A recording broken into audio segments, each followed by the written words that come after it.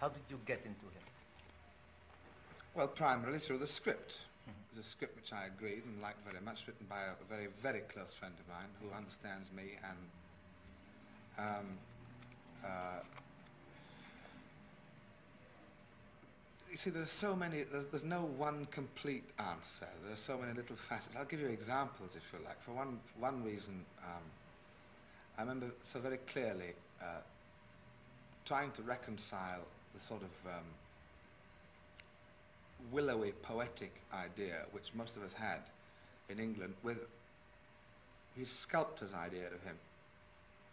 You know, his sculptor was a close friend of him, described him as being like a middleweight boxer. And Robert Graves, who lived with him, described him as being a shifty little Arab.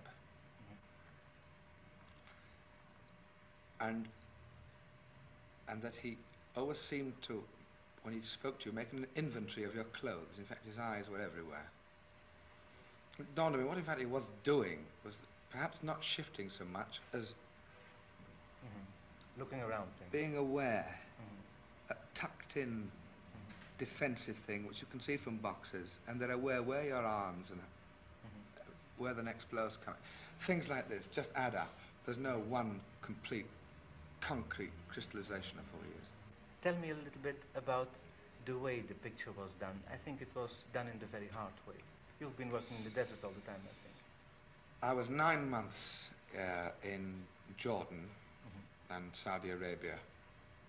Uh, I was. We had a cozy three months in Seville.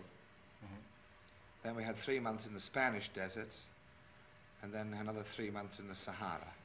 You adjust easily to the desert? Oh no, I loathe it. No, no one adjusts to the desert.